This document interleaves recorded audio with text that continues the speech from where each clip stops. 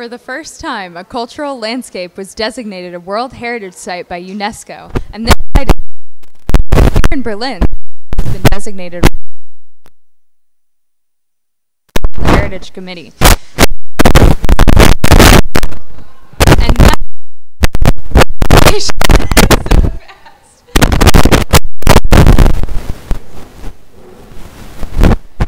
And that is what UNESCO has just recognized, not merely the physical landscape, rather a cultural one that is, I quote, the work of nature and mankind.